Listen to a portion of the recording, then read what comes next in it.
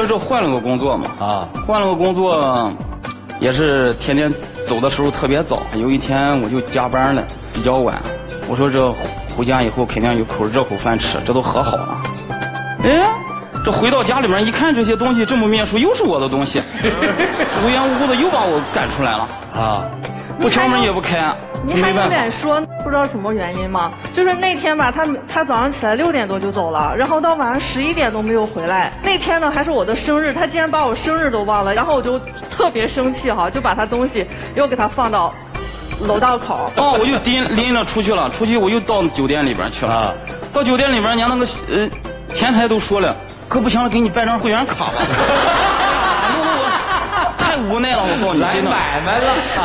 啊，嗯。实在没办法，我就是啊。后来我看见朋友圈里边啊。他原来过生日了。啊，后来我就说呀，确实是我不对，啊。哎，第二天早上他又找到来了，又打了。这次没打，我就带着他去买了个蛋糕，又抢他吃的大虾，他喜欢吃大虾，哦，别提大虾，你一提大虾我就来气儿。其实我挺喜欢吃大虾的哈，那天吃了一份没吃饱，因为特别生气，一天也没吃饭嘛。我就想再吃一份儿吧，他不让我吃，我没说他给我他给我要了一份炸馒头，炸馍片儿。那你说你没吃饱，给你再加一份炸馒头片，不是一样就能吃饱啊？馍片能和大虾一样吗？那你没说你要吃大虾呀？我说了，我说咱们再加一份吧，我没吃饱。他说行了，别吃了，一份就够了。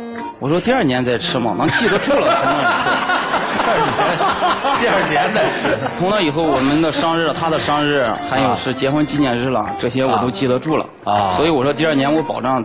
赔你两份嘛，是吗？其实他就是个玻璃心，他下班以后说肚子饿了，啊，我就得赶紧起身给他做饭。嗯可是他就摔门出去了，我就给他打电话，我说饭做好，就打不通了，无缘无故的就生气了。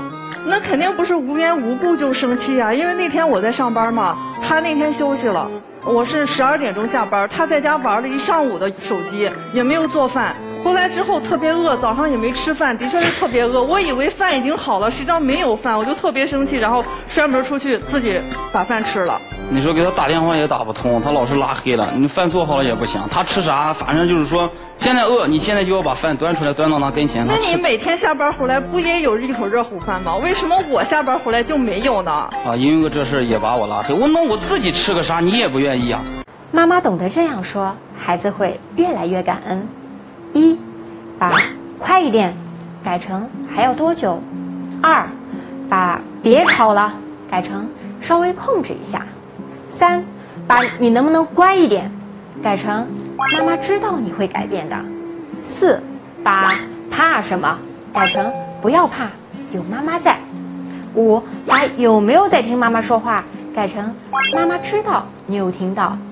六，把这有什么难的改成谁都不是第一次就会的。